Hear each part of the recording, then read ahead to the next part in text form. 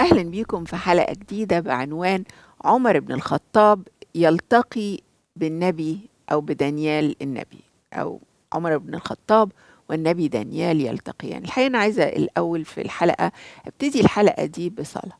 فصلوا معايا إن الله يقودنا اليوم بروحه في كل خطوة وكل كلمة بنقدمها. يا رب إحنا بنشكرك من أجل كل ما تصنع في وسطنا. بنشكرك من أجل حضورك في وسطنا. بنشكرك لأننا أبنائك. بنشكرك لأنك إله صالح وإلى الأبد رحمتك وإنك أنت مركز حياتنا وأفكارنا وكل اشتياقاتنا يا رب.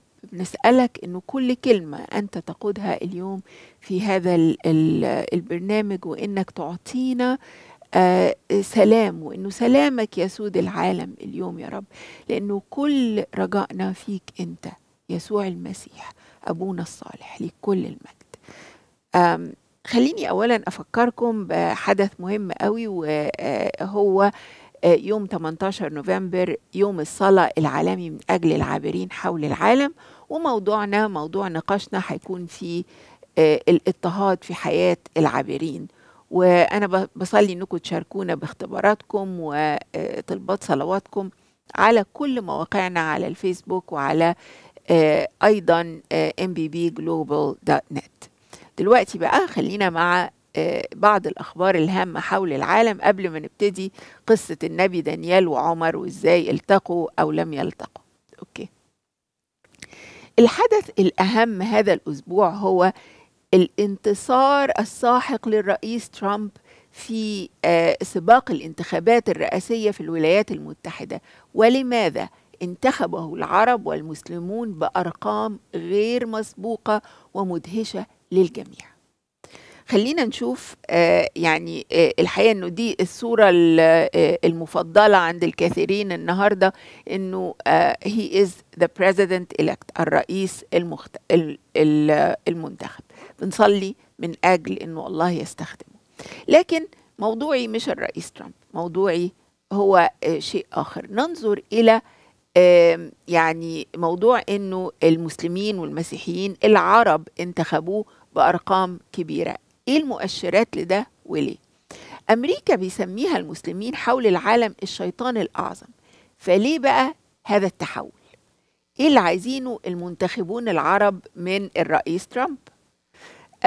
خليني أكلمكم شوية عن اللي حصل في ديربورن وميتشيغان والتحول الصادم اللي حصل فيها. الرئيس ترامب كان بيعمل مركز جدا على كل الولايات اللي هي عادة ما بتروحش لل للديمقراطيين أو الولايات اللي بتروح للديمقراطيين مش لل. الجمهوريين يس فزياراته كانت كثيرة للولايات دي منها ولاية ميتشيغان ولأنه دلوقتي ولاية ميتشيغان فيها عدد كبير جدا من العرب إذا كانوا لبنانيين يمنيين عراقيين أعداد كبيرة جدا من العرب في ولاية ميتشيغان. بيتمركزوا فيها ويعني هي بقت مركز دلوقتي لظهور حتى الحاجات ال ال بعض القوانين الإسلامية والكلام ده كله. فهو كان مركز عليها من منظور انتخابي. هو بيحاول إنه يحول كل ولايه زرقاء للون الأحمر اللي أنتم شايفينه ده. فشفنا في الأيام الأخيرة تحول مبهر جدا إنه حصل إنه هو في واحدة من الراليز بتوعه طلعوا المسلمين وعضدوه علنا وشيوخ مسلمين بالتحديد طلعوا وعضدوه. ده بيفكرنا لما كان ترامب كان بيعمل اللي بيقولوا عليها المسلم بان منع المسلمين من الدخول في المرحلة الأولى اللي هو كان فيها رئيس اولا كان وقتها في لسه ايسس وداعش يعني وحركات إرهابية كبيرة كانت بتدخل إرهابيين جوه كل الدول الأوروبية وأمريكا يعني وأستراليا وكل. فهو أخذ قرار إن هو يقفل الباب على ده علشان ما حدش يدخل ما هماش عارفين هو مين. إلى أن تنتهي الحركات الإرهابية دي. فده كان موقفه في الأول ولكن بنشوف المرة دي إنه موقفه مختلف هو مش ضد الناس هو ضد الإرهاب. أوكي؟ ف لكن التحول اللي من ناحية بقى المنتخبين هو ده اللي بيرني اللي يخلي المسلمين خاصة يثقوا فيه بهذه الدرجة. آه الميديا العربية في الأسابيع الماضية كلها كانت بتتكلم على ده وهو عمل مقابلات مع آه محطات آه مثلا الام تي في وأعتقد العربية قال فيها إن هو مهتم بإصلاح الشأن العربي وإنه يكون في سلام في, في الشرق الأوسط. كل المحطات دي كانت بتقول إنه أو معظمها كانت بتقول إنه الرئيس ترامب بيفي بوعده. علشان كده هم منتظرينه. على الناحية الثانية يعني ال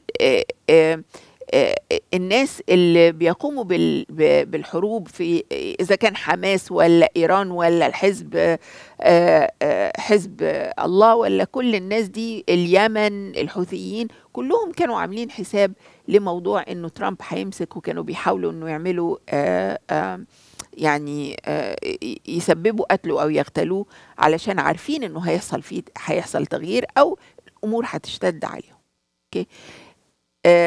ترامب كان وعده الأساسي إنه ينهي الحروب وإنه يكون في سلام في الشرق الأوسط. okay؟ ليه العرب الأمريكان حصل فيهم التحول ده؟ لإنه حصل في بعد الحرب اللبنانية. يعني إحنا بقالنا سنة في حرب بين إسرائيل والفلسطينيين في غزة. أوكي؟ بعد الحرب اللبنانية وضح الأمر أكتر. إنه العامل الأساسي اللي عامل كل القلقلة دي في الشرق الأوسط هو العامل الإسلامي المتطرف. إذا كان إيران ولا حماس ولا حزب الله ولا أي يد إسلامية متطرفة هي العامل اللي ورا كل ده. أوكي؟ فاللبنانيين نوع مختلف. اللبنانيين بقى كان ليهم دور كبير جدا في اللي حصل. في وقت يعني من بداية الحرب في لبنان واللبنانيين واضح إن هم مختارين إن هم تكون ليهم أصوات بقى. وأصوات مختلفة ومحاولات للحل. يعني بلا بكائيات بقى والحقونا ما حدش بيساعدنا والكلام ده كله. كانوا بيحاولوا يحلوا جوه بلدهم وبيحاولوا أيضا إن هم يحلوا بره بلدهم. وأعتقد إن ده كان مثل كويس جدا إنه في ممكن الناس تجد طرق أخرى للحلول السياسية. مش لازم كل الحلول السياسية تبقى بين فلسطين وإسرائيل وحزب الله وإيران وأمريكا. لا كان في قواعد شعبية من الناس عملت شغل كويس علشان تحاول توصل لناس ممكن يساعدوا زي الرئيس ترامب. اللبنانيين يعني فهموا إيه مصدر الدمار والموت. مع إن هم بيواجهوا عدو داخلي يعني حزب الله وادعاءات النصر اللي عمال يضرب في إسرائيل واللي بيدفع الثمن برضو شعب لبنان. Know, هم اللي بيتضربوا هم اللي بيتشردوا وهم اللي بيعتنوا ببعض وهم اللي بيعتنوا بحزب الله اللي في وسطهم. يعني لما فهموا بقى إن حزب الله اللي جوه ده هو اللي لازم يخرج. فدلوقتي الحديث تغير. والمحاولات التغيير جوه لبنان تغيرت بقت من جوه ومن بره. فحزب الله غير معتني زيه زي أي تأسيس يعني أو مؤسسة مجموعة منظمة إرهابية في داخل أي بلد لا تهتم. الإخوان المسلمين لم يهتموا بدمار الشعب المصري. حماس وفتح وكل المنظمات اللي, اللي بالشكل ده كان برضو لم يهتموا بما يحدث لشعب غزة وإلى الآن هم مش مهتمين. الحوثيين مش مهتمين بدمار الشعب اللي جوه برضو هم يعني مجموعة قد كده. واليمنيين عايشين في فقر وقحط وآلام المجموعات الإرهابية لا تهتم أبدا بالناس لكن تهتم بإقامة الدولة الإسلامية اللي هم عايزينها. بس أوكي؟ حزب الله ضرب مطار إسرائيل عشان إسرائيل تضرب مطار لبنان فيحصل تصعيد. وأيضا الأخبار الآن بتقول إن هم بيستهدفوا الجيش اللبناني حتى لا يعطى الجيش اللبناني. فلازم نفكر بقى. لبنان عانى من عانى من القضية الفلسطينية يعني على طول الخط. وفتح وحماس وإيران وحزب الله فهموا بقى العدو الحقيقي إن هم لازم يتكلموا عن نفسهم ويبتعدوا عن كل المنظمات الدينية اللي بتاخدهم في مسارات أخرى. فاختاروا بقى إن هم يجدوا الحلول العملية السلمية. وهم العامل الأكبر بقى في التحول الحادث على الساحة السياسية في أمريكا دلوقتي. اختاروا راجل رجل سلام. أنا عايزة أقول إنه ترامب في 2016 مش هو ترامب 2024 لأنه حصل حاجة فارقة في حياته. لازم نعطي فيها المجد لله. إنه ربنا خلصه من الموت فتحولت عينين بقى ترامب من نفسه على معونة الله. قال في خطاب في الخطاب الأخير بتاعه إن هو كل الكل بيقول له إنه الله اعتنى بيه واداله حياة لسبب. وكل الناس اللي بتصلي له بتبعت له رسائل وبتقول له اعتني بالله في حياتك وكون أمين مع الله في حياتك علشان يقودك. إذا مشي في المسار ده وفعلا ده حصل هيكون فعلا راجل سلام الرب يستخدمه. إن لم يفعل إحنا بقى في إيدين ربنا كلنا. أوكي؟ بس أنا عايزة اوريكم أحد الفيديوهات اللي ترامب فيها بيعطي المجد لله والحقيقة إنه في فيديوهات كتيرة من هذا النوع. هذا لم يحدث من قبل. اسمع. Still need help from the boss. We need help from the boss. What happened. We need help.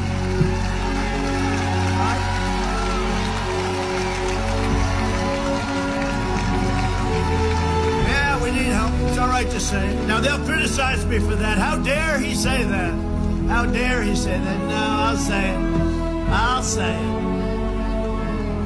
I'll say it. Somebody said to me the other day, You're the most famous person in the world by far. I said, No, I'm not.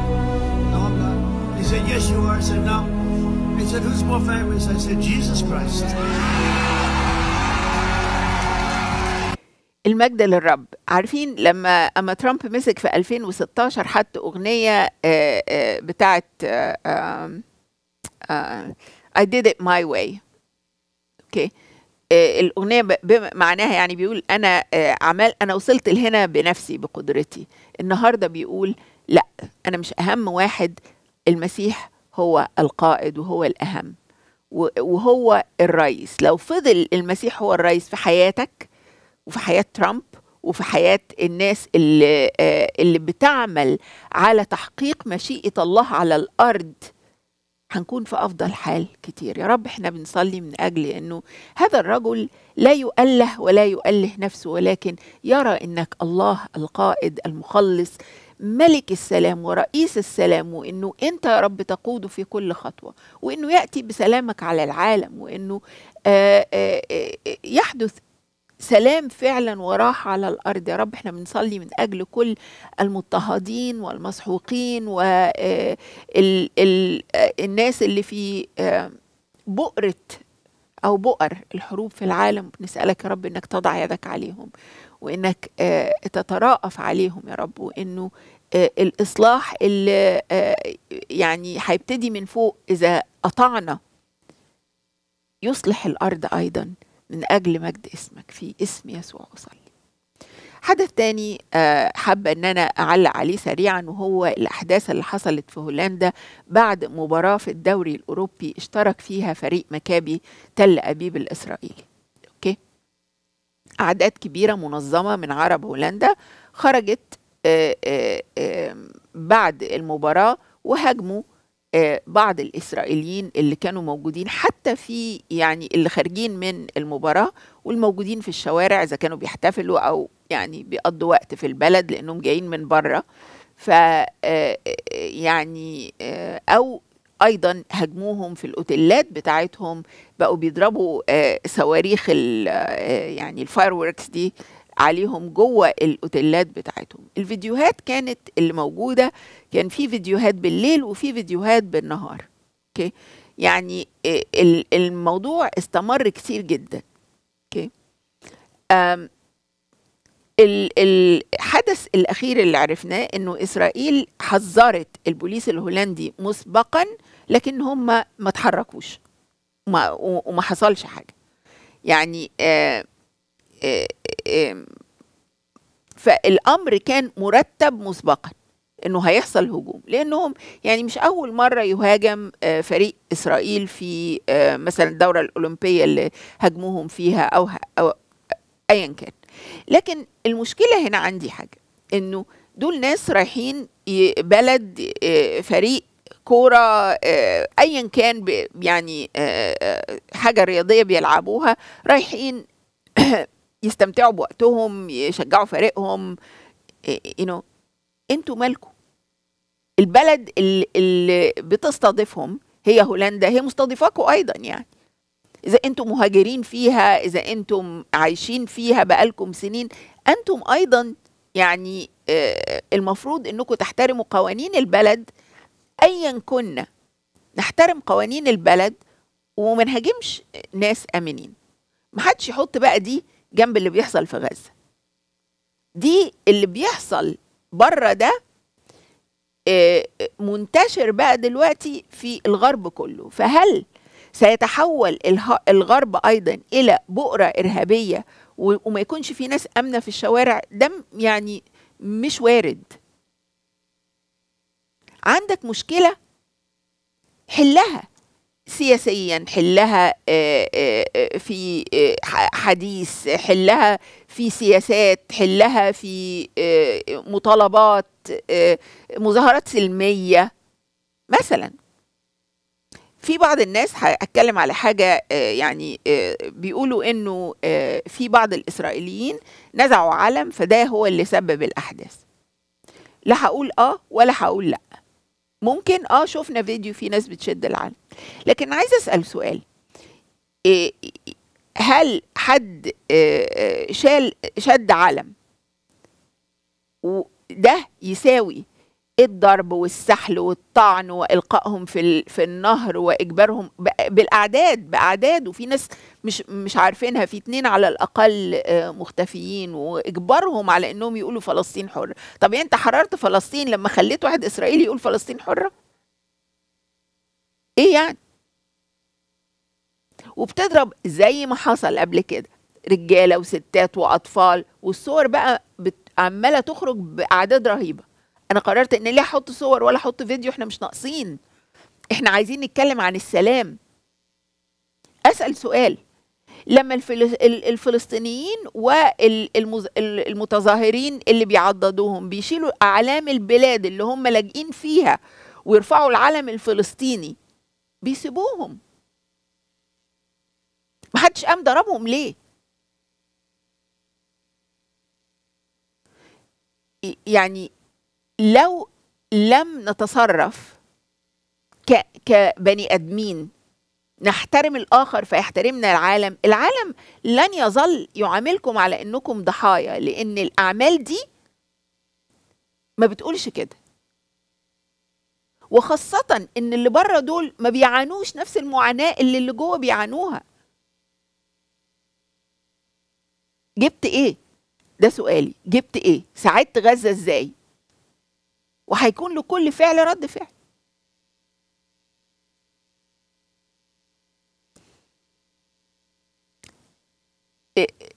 إذا كان هناك عملاء لحماس ولا الحزب الله بيشتغلوا في الخارج فاللي بيدفع الثمن هم أهل غزة وإذا كان في ناس بتستخدم لأنها زعلانة على بلدها زعلانة على أهلها فقدوا الناس في أهلهم وده وارد جدا اوجد طريق آخر للسلام لاقي في نفسك إنك تقدر تحكي قصتك بسلام. وتطالب بحقك بسلام. أنا شايفة إن يعني الصورة الذهنية اللي قدامي دلوقتي إنه اتحاد المسلمين والمسيحيين في إنهم يعضدوا ترامب علشان يوصلهم لطريق السلام في الشرق الأوسط وهيحصل. أنا أنا بصلي إنه ده يحصل وأعتقد هيحصل. أكتر حاجة ممكن تحل المشكلة في الشرق الأوسط. لأنه في اتحاد واتفاق على طريق للسلام. بس. جيرت وايلدرز هو رئيس الرئيس الوزراء القادم ال يعني لهولندا وهو معروف بكشفه ل- للإسلام ومعاداته للأفكار الإسلامية وبيتكلم عنها بقاله سنين كتيرة. وده هيبقى الرئيس القادم رئيس الوزراء القادم. التغيير ده مش لمصلحتكم لو فضلتم تتصرفوا بالشكل ده. إحنا بنصلي يا رب من أجل سلام وتوبة وإنه يرى العالم إنك ملك السلام والاسم فوق كل الأسماء وليس بغيرك الخلاص. بعد كل الكلام بقى التقيل اللي أنا قلته ده دلوقتي أنا عارفة إنه آه، يعني كلام تقيل لكن هدفي منه إن إحنا نوصل لطريق سلام. مش هنفضل نشاور بص- بصوابعنا وبأفكارنا وبقلوبنا على بعض. خلينا ننظر إلى الله وخاصة المؤمنين. ننظر إلى الله ونجد طرق يعني يعني على الأقل لو مش قادرة أعمل حاجة هساعد حد محتاج في البلاد دي. مثلا okay؟ okay. خلينا بقى نتكلم على آه، آه، آه، القصة اللي هتغير حياتك. بصراحة الأستاذ عمرو نور الدين حامي حمى الإسلام حامي الصرح الاسلامي عامل سلسلة من قصص الأنبياء ما تخرش المية. وبيقرأ لنا من كتاب إيه؟ قصص الأنبياء لابن كثير. طبعا ده أشهر الكتب الإسلامية اللي فيها قصص الأنبياء. أقول لكم من ناحيتي أنا جدتي كانت تقعد تقرأ لي في الكتاب ده كتير جدا. أنا اخترت لكم قصة مبهرة جدا آه، هو آه، هيحكيها لنا وهي قصة عن النبي دانيال بس مش قصة النبي دانيال قوي يعني. يعني هو يقول لك قصة النبي دانيال لكن مش دي القصة كلها المفروض يعني. أوكي خلينا نشوف. اسمع الفيديو. قال أبو العالية لما افتتحنا تستر مدينة وجدنا في بيل بيت مال الهرمزان سريرا عليه رجل ميت عند رأسه مصحف. قال فأخذنا المصحف فحملناه إلى عمر بن الخطاب رضي الله عنه وأرضاه. سيدنا كعب هو أول من قرأ هذا الكتاب. قال قرأته مثل ما أقرأ القرآن. قال فيه سيركم وأموركم ولحون كلامكم وما هو كائن بعد. يعني هذه الصحيفة مكتوب فيها كل شيء إلى يوم القيامة. Okay. So دلوقتي هو بيقول إن هو بعد فتح تستر لقوا إنه آه، آه، آه، لقى في واحد جسد محفوظ في مكان. وإنه هذا الجسد يعني هو الراجل ميت من 300 سنة لكن آه، زي ما هو. الراجل زي ما هو. مين ده يا عم؟ قال ده واحد مات من 30 سنة وغالبا هو بقى إيه ال ال النبي دانيال. alright ف آم، ال- الفكرة هنا إنه آم، ال- القصة هي قصة كيف تعاملوا مع هذا الجسد أو الشخصية دي وإزاي بقى اكتشفوا إنه ده النبي دانيال؟ خلينا نشوف إيه وضع القصة دي. لأنه الكتاب اللي كان معاه المفروض إنه كان آه، كتاب آه، آه، المفروض إنه قال يعني سفر دانيال ال- اللي فيه كل النبوءات من هنا ليوم القيامة. أوكي؟ قلت ما تغير منه شيء يعني على مدار ثلاثمائة سنة. لم يتغير من هذا الميت شيء. قال إلا شعرات من قفاه. إن لحوم الأنبياء لا تبليها الأرض ولا تأكلها السباع. الله أكبر. يعني عارفين أنتوا يا جماعة طول النومة طول النومة لما تفضل نايم كده لو إنسان الله يعز مقداركم كده خلينا نضرب مثال ويشفي كل مريض مسلم يا رب يا كريم ويعافي كل. مبتلى مسلم. ثم قال إن لحوم الأنبياء لا تبليها الأرض ولا تأكلها السباع وفي حديث عن النبي صلى الله عليه وسلم إن الله حرم على الأرض أجساد الأنبياء. شوف بقى يقول لك إيه؟ بقاله 300 سنة ويمكن أكتر محدش عارف. هو راقد كده آه، الرقدة دي وهم قاعدين محنطينه في صندوق بقى هو مش متحنط المفروض لأنه أجساد الأنبياء ما, ما لا تبلى. أوكي؟ وإنه ال- المصدر في ده كلام محمد. أسأل سؤال ما الحكمة في إن أجساد الأنبياء لا تتغير؟ ليه؟ يعني آه، مثلا ده إحنا كنا لقينا بقى إذا كان يقول لك إنه ساعات الأنبياء والصالحين وساعات أيضا آه، آه، الشهداء يعني في مرة تانية هعمل لكم حلقة على الموضوع ده في قصة آه، شخص صالح أو نبي آخر. يقول لك إنه إنه إنها لا تتغير وإن الدم كده بيبقى ينبض فيها يعني يعني كأنه صاحي كده قدامك. طب إيه الحكمة؟ هل ده بيقول إنه ده يقول إيه على ربنا؟ ده سؤالي يعني ده الس- السؤال اللي جه في ذهني. ليه شخص يحفظ جسده عن شخص آخر؟ مع إنه الكتاب المقدس بيعلمنا إنه الأنبياء كلهم غلطوا وكلهم عملوا حاجات وكل يعني اتعاقبوا عليها كمان. يعني موسى موسى نفسه عمل حاجة فربنا قال له طب أنت هتشوف ال- الأرض الموعد بس مش هتدخلها.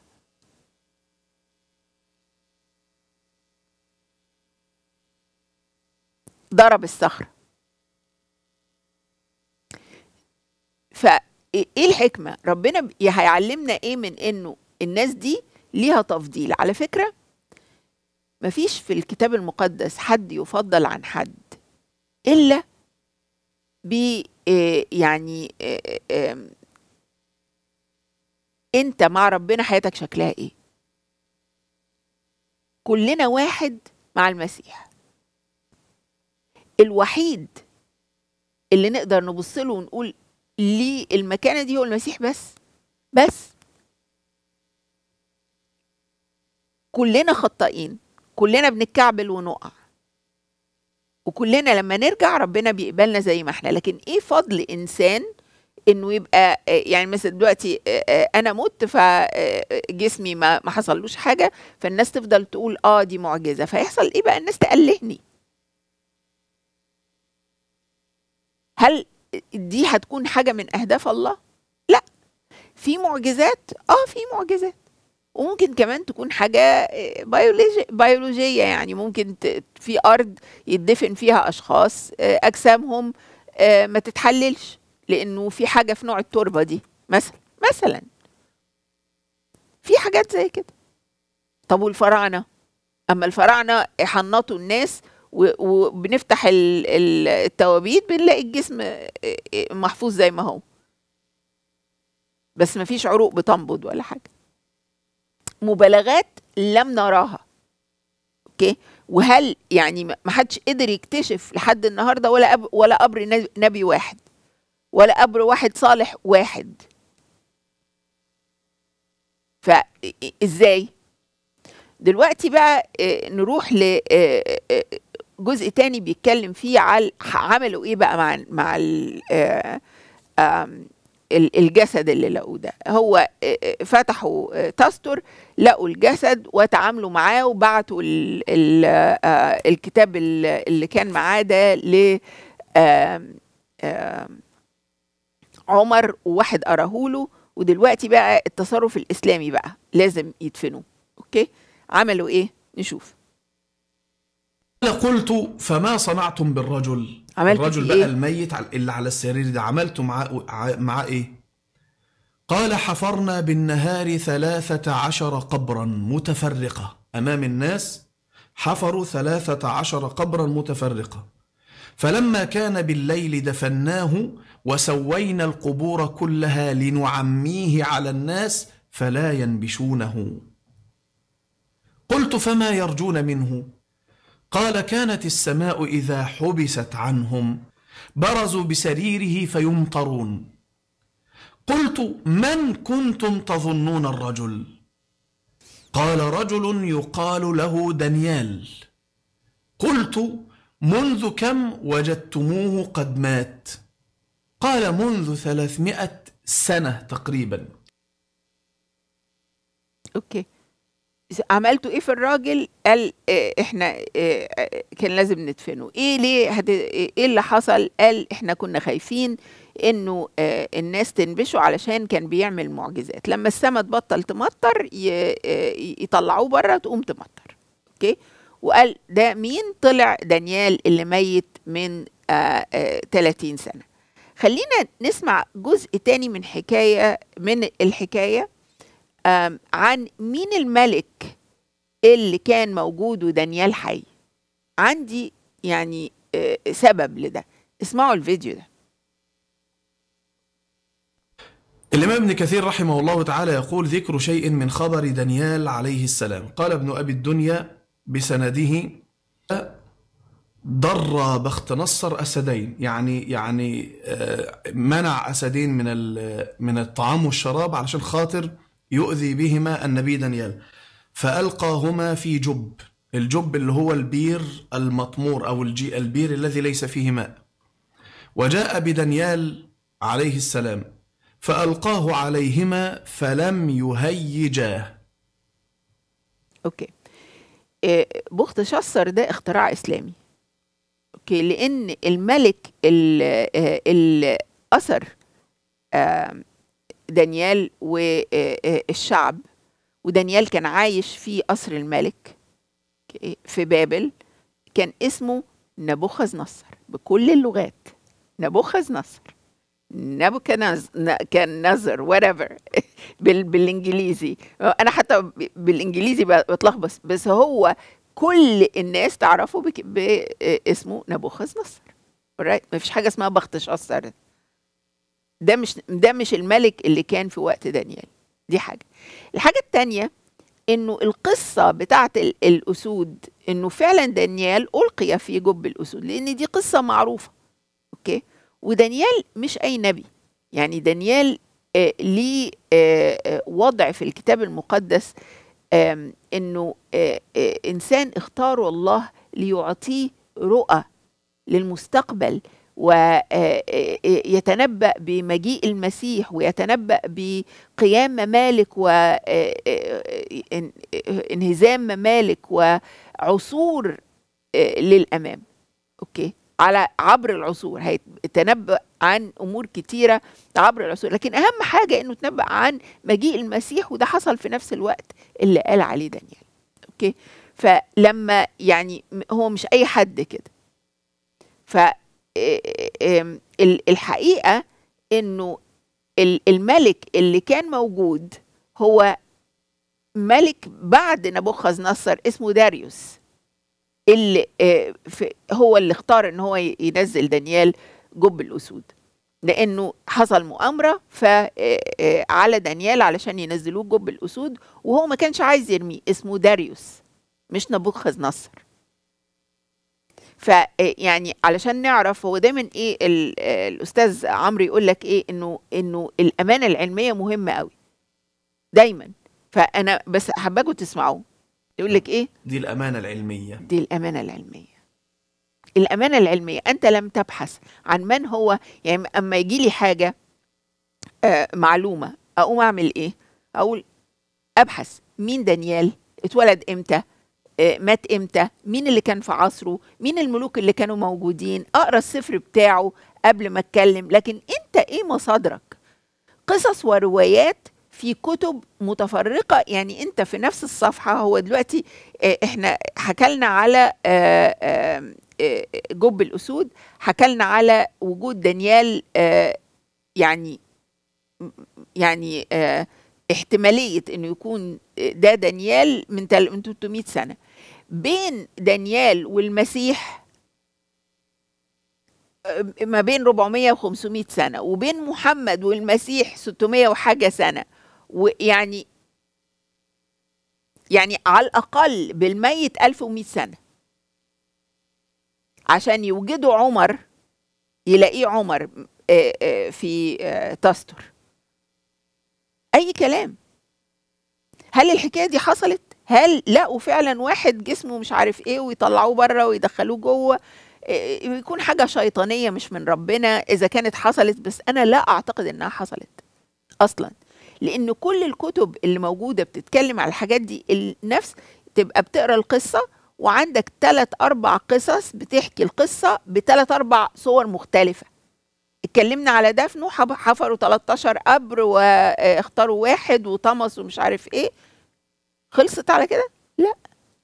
بس دي الأمانة العلمية لازم أحكي كل القصص. أوكي. دانيال قبل المسيح بحوالي 500 سنة. تنبأ بوجود المسيح. لو سمحت آه، تصلح لي آه، الشاشة. تنبأ بوجود المسيح آه، من يعني بالتحديد لما اتكلم عن إنه المسيح المخلص هيجي بعد سبعين أسبوع وده كان اللي هم ال 490 سنة وهكذا. إيه جا إيه جاب ده لده؟ وإزاي ده 300 سنة وبتقول لي إن ده آه، يعني حدث. أوكي؟ خلينا نكمل نشوف. شوف الفيديو ده. فمكث ما شاء الله ثم اشتهى ما يشتهي الآدميون من الطعام والشراب. فأوحى الله إلى أرميا النبي أرميا وإحنا حكينا قصته.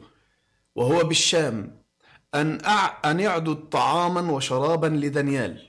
فقال يا ربي أنا بالأرض المقدسة في فلسطين ودانيال بأرض بابل من أرض العراق بيننا مسافة كبيرة جدا. فأوحى الله إليه أن يعدد ما أمرناك به فإنا سنرسل من يحملك ويحمل ما أعددت.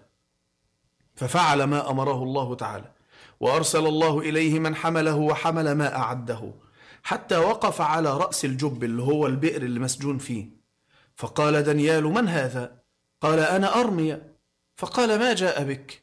قال أرسلني إليك ربك سبحانه وتعالى.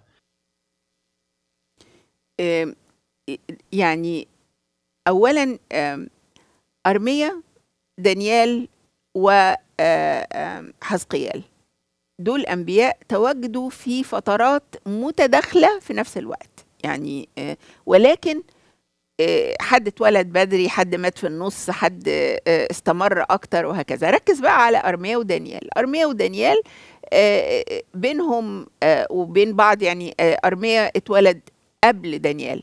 Sorry. Yeah. آم، أرميا ودانيال بينهم حوالي خمس ست سنين حاجة زي كده في آه، في العمر. آه، لكن دانيال عاش لحد ما بقى عنده حاجة و80 سنة تقريبا okay؟ وأرميا مات وهو عنده 40 سنة. فلو حطيت إنه أرميا مات وهو عنده 40 سنة وهو already أكبر من دانيال وإنه دانيال كان في جب الأسود وهو عنده 70 سنة فده ما ينفع ما يتركبش ما ينفعش ما كانش موجود وقتها أوكي. فلأننا ما بنبحثش. بيبقى قول أي حاجة بقى ما حدش يعني ما حدش بيحسب آه، أنت بتقول إيه. مش كده؟ مشكلة. يعني آه، ال ال الأحداث التاريخية اللي موجودة في الكتاب المقدس في حاجات بتثبتها. أسماء الملوك آه، آه، آه، آه، آه، موجودة مثلا حروب تاريخية أحداث هامة يعني هكذا. الناس بتحسبها تقول لك الملك الفلاني كان موجود في الوقت الفلاني. عشان كده حتى الكتاب المقدس يقول في عهد الملك فلان كذا اللي حصل. راح له دانيال راح له مش عارف إيه. فالحاجات دي ليها ليها تواريخ معروفة يعني. فانت ما تقدرش تقول لي انه تقريبا كده يعني آه، آه، دانيال آه، كان من 300 سنة. لا الملك داريوس كان موجود ولا الملك بخت شاصر ده أصلا موجود ولا you know. إيه إثباتك؟ بيقولوا كلام وخلاص وإحنا يعني أما أما كنت مسلمة أي حد يقول لي قصة أقول خلاص يعني ما كويس. ما بفكرش فيها. أصل الحاجات العجيبة اللي بيقولوها كتير. فاقول يمكن كان وقتها كده. يعني مثلا أنا ما اتعلمتش عن آه، التاريخ الكتاب المقدس أي حاجة فما كنتش أعرف أي حاجة في تاريخ الأنبياء. لما قريت الكتاب المقدس كل حاجة ابتدت تركب على بعضها. مش النبي آه، آه، آه، يعني آه، ال- القرآن لما يحكي قصة نبي بيحكيها في في خمسين حتة متفرقة. وداخل فيها ال- الأحاديث وداخل فيها السير والكلام ده كله. على ما تلمها بقى لازم تعمل تحقيق. صح؟ فلازم نفكر نفكر. وبعدين في الآخر يقول لك بس ده إيه؟ عشان إيه؟ دي الأمانة دي العلمية الأمانة العلمية. You know? أوكي خلينا نشوف بعد كده ال ال آه، يعني ال الحدث بقى ال- المفروض يحصل بعد كده إيه؟ وإيه اللي هو يعني اكتشفه في موضوع آه، آه، دانيال اللي يخلي إنه الراجل ده فعلا يفتكروا إن هو دانيال. أوكي؟ خليني أقول لكم إيه الدليل الدامغ؟ الحقيقة العلمية المبهرة. اسمع اسمع كويس. إن كان تاريخ وفاته محفوظا من 300 سنة فليس بنبي بل هو رجل صالح. لأن عيسى بن مريم ليس بينه وبين رسول الله صلى الله عليه وسلم نبي بنص الحديث الذي في البخاري والفترة التي كانت بينهما 400 سنة وقيل 600 سنة وقيل 620 سنة و620 سنة هو ده الصحيح. وقد يكون وتاريخ وفاته يعني هذا النبي دانيال وقد يكون تاريخ وفاته من 300 سنة وهو قريب من وقت دانيال. إن كان كونه, كونه دانيال هو المطابق لما في نفس الأمر فإنه قد يكون رجلا آخر إما من الأنبياء أو الصالحين. ولكن قربت الظنون أنه دانيال لأن دانيال كان قد أخذه ملك الفرس فأقام عنده مسجونا كما تقدم حتى مات. أنه ملك فورس. إيه دليلك؟ هو ده الدليل؟ يمكن كذا يمكن كذا يمكن كذا يمكن كذا. الدليل قالوا له مش الدليل خالص مكتوب عندك خالص. وتفضل بقى تلف في في حتة إنه آه، آه، يعني آه، آه، 300 200 آه، ت- آه، ويمكن تم- 800 تمشي برضو هي أنا عجباني حتة إنه تم- تم- 800 دي هي ال- الأقرب. هو قراها 300 بس هي مكتوبة 800 هي هي الأقرب للصحة. ده لا تبقى أقرب ولا يمكن تنفع ولا تقدر تلزقها لو جبت آه، يعني كل الناس يعملوا قص لزق ومعاك آه، قص ولزق معاك دي مش ما ينفعش. ما فيش حاجة اسمها كده. في تاريخ بيثبت إمتى دانيال اتولد وإمتى مات ومين كان معاه وحاجه يعني عشان أنا بنصحك إنك تقرأ الجميع إنك تقرأ سفر دانيال. لأن في سفر دانيال هتلاقي إنه دانيال لم يكن شخص عادي كنبي يعني يتنبأ باسم الله ولم يكن شخص عادي في عند الملوك اللي, آه، آه، اللي كان بي- بيخدم تحتهم اللي كان تحت إدارتهم. فهو اللي آه، آه، الوحيد اللي كان اللي أنقذ مثلا حكماء الملك لأنه فسر للملك حلمه. وإنه آه، هو واحد من الثلاثه الفتية فتية ال- اللي نزلوا الأتون ألقيوا في الأتون و آم، يعني كان حدث كبير في هذا الوقت. إنه الله أنقذهم وكان يسير معهم والملك كان مبهور جدا ويعني قال إن إله دانيال لازم يعني هو الإله الحقيقي وهكذا.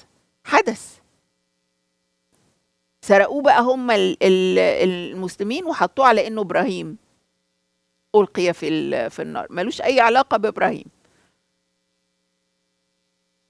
أي يعني ما هو واحد يقرأ حاجة زي مثلا آه، ال- ال- الروايات الإغريقية دي تقراها بقى وتقعد أنت تعمل لك تيجي أنت تكتب رواية بشبه الكلام ده.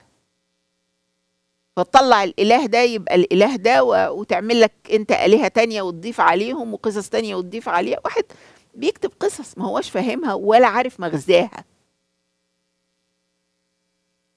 أوكي؟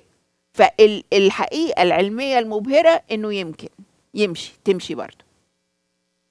عشان إنه آه، إنه كان عند آه، أسر في آه، بابل عند الفرس. طب إيه يعني ما كان في أسر كتير واسرى كتير عند بابل إيه الإثبات؟ يمكن اللي جاي ده بقى الفيديو ده هو اللي يبقى الإثبات. اسمه قد روي بإسناد صحيح إلى أن أبي العالية إلى أن أبي العالية قال أن طول أنفه شبر. طول أنف النبي دانيال شبر يعني كان كبير ضخم. وعن أنس بن مالك بإسناد جيد أن طول أنفه ذراع فيحتمل على هذا أن يكون رجلا من الأنبياء الأقدمين قبل هذه المدد. ده برضو ترجيح تاني للإمام ابن كثير. بيقول ممكن يكون هذا النبي ليس هو دانيال بل قد يكون نبي من الأقدمين اللي هم كانوا طوال وضخام وعظام في أجسادهم غير النبي دانيال كمان. آه. يا أعتقد إن دانيال كان عايش أيام الجنيه الجلد. أو مثلا عارفين العمالقة اللي بيجوا في الأفلام دول يبقى عايش فوق الجبل وعنده عين واحدة في في نص راسه وكده؟ هل في سؤال سؤال حقيقي بقى مش تريقة؟ أوكي. عشان الأولاني كان تريقة. هل في حفريات بتوحي إن في حد مناخيره شبر؟ أو أو حتى يعني نص نص حتى الشبر. يعني واحد مناخيره شبر تبقى كده يعني كده أهو. يعني يعني يشوف إزاي صحيح. أوكي؟ وبعدين ماشي. يعني حتى شبر طب قبلنا الشبر بعدين يقول لك لا هو في قول آخر إنه مناخيره كان طولها ذراع. فلازم يعني إيه يعني الدراع ده لازم يكون في عظمة تمسكه ولا الناس هتمشي تمشي مناخيرها مدلدلة. I'm sorry. يعني إز إزاي ده يعقل إنك ت... يعني أنت إزاي كراجل كبير كده تقعد تقرأ الكلام ده وتقول سبحان الله؟ أصل الناس بتوع زمان دول كانوا ناس كده كبار عظام. طب ويحصل إيه لو الناس دي كانوا وهم ماشيين كده مناخيراتهم بتخبط في بعض؟ يعني ليه كده؟ يعني إزاي أنت بتقرأ ده وقاعد عامل ساعة ونص؟ فأنا ماذا أقول؟ يقول الإمام ابن كثير وقد اسمع. قال أبو بكر بن أبي الدنيا في كتاب أحكام القبور. بسنده عن أبي الأشعث الأحمري قال رسول الله صلى الله عليه وسلم إن دانيال دعا ربه عز وجل أن تدفنه أمة محمد.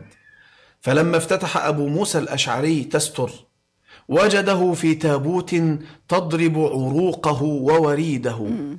وقد كان رسول الله صلى الله عليه وسلم قال من دل على دانيال فبشروه بالجنة.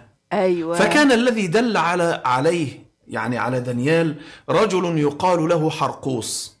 فكتب أبو موسى إلى عمر يخبره فكتب إليه عمر أن ادفنه وابعث إلي حرقوسا فإن النبي قال بشره بالجنة. سو يعني يبعث إلي حرقوسة فإن النبي بشره بالجنة. لأنه النبي قبل ما يموت قال إحنا لازم نلاقي دانيال. اللي يلاقي دانيال هوديه الجنة. أوكي؟ مين الشاطر بقى؟ تخريف ليس له حدود يعني. ولازم يأسلموا بقى كل واحد ما يقول لك النبي دانيال ده بتاعنا إزاي؟ ما هو كان من المسلمين وإنه دانيال بيتكلم في عمرك في حياتك لو قريت الكتاب المقدس هتلاقي إنه لغة لغته في ال- السرد مختلفة تماما عن القرآن ويقول لك إنه إنه هذا آه، هو أنا قريته زي ما بقرأ القرآن عشان في الحانكم وفي مش عارف إيه. كلام فاضي. لغة الكتاب المقدس مختلفة تماما واضحة وصريحة ومتصلة. وتقدر تفهم فيها الله بيقول لك إيه.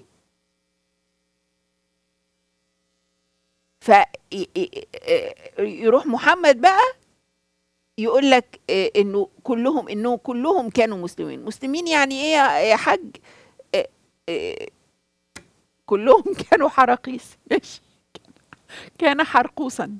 okay؟ so, يعني آه، آه، كلام لازم نفكر فيه شوية علشان خاطر ما يضحكش علينا. انت لازم تبحث عن إله حقيقي. كل هذه الخرافات ما تقدرش تفصلها عن السرد الإسلامي ابدا والأفكار الإسلامية ابدا. هذا التعظيم لإله لا آه، يعني آه، يعني إيه، لا يمكن إنك تتواصل معاه. وإنه محمد ده نفسه في الآخر هتكتشف إنه هو نفسه أسطورة. وإنه تلات أرباع الحاجات اللي اتبنت حواليه دي 90% منها لم تحدث ولا هي موجودة ولا كانت حتى مقبولة في عصرهم وإنه من كتب كتب عنه سنين مئات السنين بعده. ونقبله ونقعد بقى نعمل بودكاست ونقعد ساعة ونص نقول آه، مناخيره زراعة. إزاي أنت وأنت كمسلمين تثقوا في أي شيء يأتي به هذا الدين؟ عشان إيه بقى؟ دي الأمانة العلمية. عشان دي الأمانة العلمية. أوكي؟ دلوقتي بقى شوفوا قلت لكم في الأول قصص بتتكرر وبتتكرر بطرق مختلفة. دي بقى كلاكيت تاني مرة. إزاي دفنوه؟ الحقيقة بقى.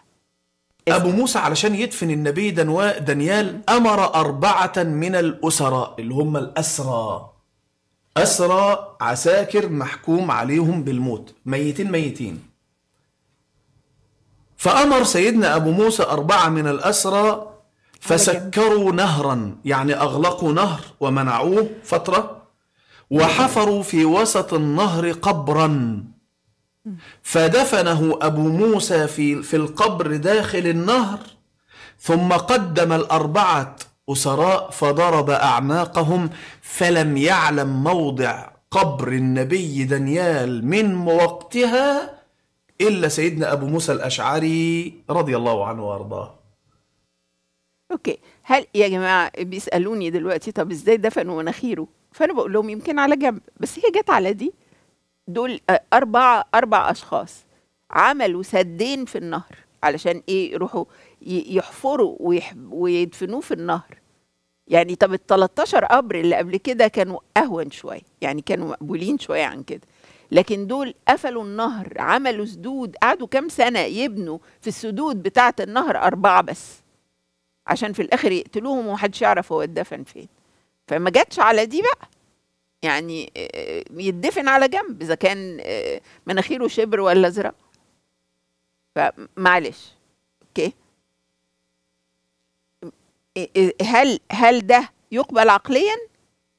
آه. نقبله وإحنا ساكتين عشان هم قالوا كده الشيوخ قالوا كده. ودي عموما يعني مش هتأثر قوي في إيه، إحنا عندنا القرآن. بقى الناس تقول لك عندنا القرآن وعندنا الثابت من الحديث ومش عارف إيه. الثابت من الحديث ده أنت بتميزه إزاي؟ وبتوزن القرآن إزاي أصلا؟ وإزاي تثق؟ مثلا يعني مثلا إحنا في الحلقات القادمة عشان مش هلحق النهارده هتكلم عن الخضر. فالخضر ده ما هو موجود في القرآن وأنت لا عارف أوله من آخره ولا اتكلم مع مين ولا شاف مين ولا هو اسمه إيه ولا الراجل اللي قبله اسمه مين و... لكن عندك حاجات بره بتقول لك قصص تانية مختلفة. أوكي؟ اوريكم بقى آخر فيديو. رأيت في يدي ابن أبي بردة ابن أبي موسى الأشعري خاتما نقش فصه أسدان بينهما رجل يلحسان ذلك الرجل. قال أبو بردة فسأل أبو موسى علماء تلك القرية عن نقش ذلك الخاتم فقالوا إن الملك الذي كان دانيال في سلطانه. جاء المنجمون وأصحاب العلم فقالوا له إنه يولد كذا وكذا غلام يعور ملكك ويفسده. فقال الملك والله لا يبقى تلك الليلة غلام إلا قتلته. إلا أنهم أخذوا دانيال فألقوه في أجمة الأسد فبات الأسد ولب- ولبؤته يلحسانه ولم يضراه. سبحان الله بصراحة. أنا يعني ده آخر فيديو. بيقول لك بعد كده بقى إنه آه إنه آه آه، دانيال آه نقش على الخاتم ده آه، هو قاعد في النص وأسدين جنبه والأسدين بيلحسوه. علشان يفضل فاكر إنه ربنا أنقذه. كم من الخرافات في ال ال آه، ال- القصص دي أنا حتى ما لمستش ربعها. اقرأ بنفسك. فكر بنفسك. عشان تعرف هي الأمانة العلمية دي يعني من عندهم آه، آه، اسمها إيه؟ إيه العلم ده اللي هم بيتكلموا عنه؟ عايز أفهم. يعني مين يثبت إنه آه، آه، آه، إنه ده علم ليه أساس. ممكن إحنا منطقيا كبشر نفهمه ونعمل له أساسيات وكده. أنتوا دخلتوا عملتوا لنفسكم أساسيات في الفقه والمش عارف إيه على أساس كل ما قيل وما قالوه من قبلكم ولم تفكروا. مفيش حاجة اسمها تستلم تبقى عندك كتاب فيه خمسين قصة لنفس القصة وتقول ممكن برضو دي فكرة برضو ده ممكن برضو في الآخر في السماء لما نبقى قدام ربنا مفيش حاجة اسمها ممكن برضو في حاجة اسمها إنه الله اختارك إدالك عقل خلقك لهدف و... وعايزك تختار. وإن الله الحقيقي لن يجبرك إنك تختاره ولكن جه علشان يديلك فرصة للنجاة. فرصة للحياة من خلاله من خلال يسوع المسيح فقط. قال لك أنا هعمل العمل اللي أنت ما تقدرش تعمله. أنا هموت علشانك علشان خاطر أشيل عنك خطيتك. وهقول لك بمنتهى الصراحة أنت ابني وأنا بحبك. وعايز إنك تعيش معايا. أنا بقولها بمنتهى البساطة. أوكي؟ تقبل تعيش معايا؟ تختار أنت تخلص. من آمن واعتمد خلص وآمن بالرب يسوع المسيح فتخلص أنت وأهل بيتك. ما عندناش بقى خرافات اللي مناخيره زراع والاسد عمل كذا. يعني في قصة دانيال مش حاجة بتقول إن الأسد آه، كان قاعد بيلحسه ولا ما بيلحسوش. ال- ال- الأسود سابته الملاك وقف وحرسه. وخلاص. الهدف مجد الله مش الهدف تمجيد أشخاص. فأنا بقول لك إن النهارده ربنا عايز يديلك حياة أبدية. أخرج من كل هذه الخرافات واتجه لإله السلام إله المحبة إله الخلاص يعلمك إزاي كل يوم تمشي معاه. أوكي؟ في آية أنا عايزة أصليها من أجلكم النهاردة في رسالة كلوسي بيقول كده ليملك في قلوبكم سلام المسيح فإليه دعيتم في الجسد الواحد وكونوا شاكرين. كونوا شاكرين في كل حين في الصعب نشكر في في في الفرح نشكر في الغنى نشكر في الفقر نشكر لأنه مصدر الحياة في حياتنا هو يسوع المسيح وفقط. هو إله المجد المحب لك بصورة شخصية. اقبلوا اليوم. أنا بشكركم على المتابعة اليوم وألتقي بكم في تكملة لمثل هذه الحلقات الأسبوع القادم.